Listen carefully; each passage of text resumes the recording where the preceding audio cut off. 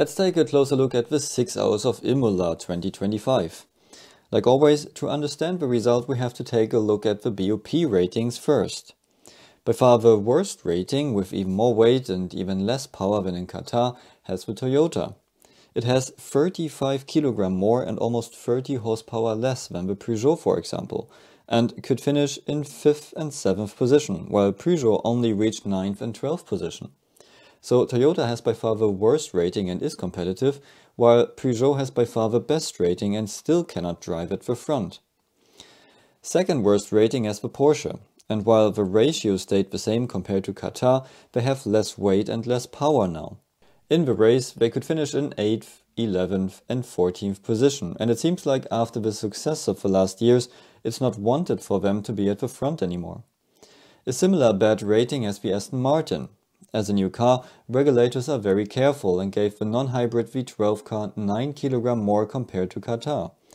They qualified last and finished last of the hypercars, 4 laps behind. A slightly better rating got the Ferrari, which could win the last race in Qatar. Now for Imola, they were given 8 kg more weight, but also 7 kW more power, which improved their rating.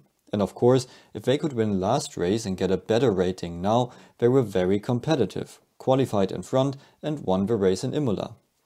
Also, the Cadillac got more weight and more power for Imola, which resulted in a slightly better rating, but they could only finish in 10th and 16th position.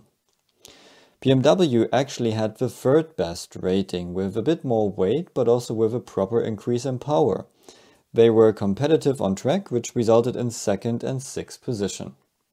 And the second best rating had the Alpine with 2 kg less than in last race and 11 kilowatt more power, which made them a lot more competitive.